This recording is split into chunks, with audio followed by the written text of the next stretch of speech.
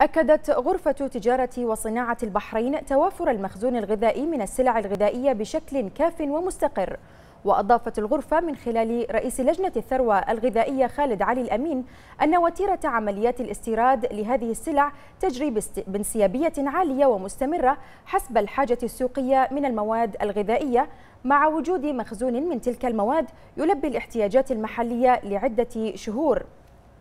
مشيرا إلى أن هناك العديد من الشحنات الغذائية في طريقها للمملكة لتزويد الأسواق بالسلع الرئيسية من المواد الغذائية. كما أكد بأن الغرفة تحرص على مساندة الجهات الحكومية بشأن كافة القرارات والإجراءات التي تتخذها الحكومة لدعم توافر السلع واستقرار أسعارها. وكان تجار البحرين وجريا على عادتهم السنوية قد قاموا بالتوقيع على وثيقة التعهد بعدم رفع الأسعار خلال شهر رمضان المبارك والتي تهدف إلى دعم القوة الشرائية والحفاظ على استقرار السوق إلى جانب صون حقوق المستهلكين.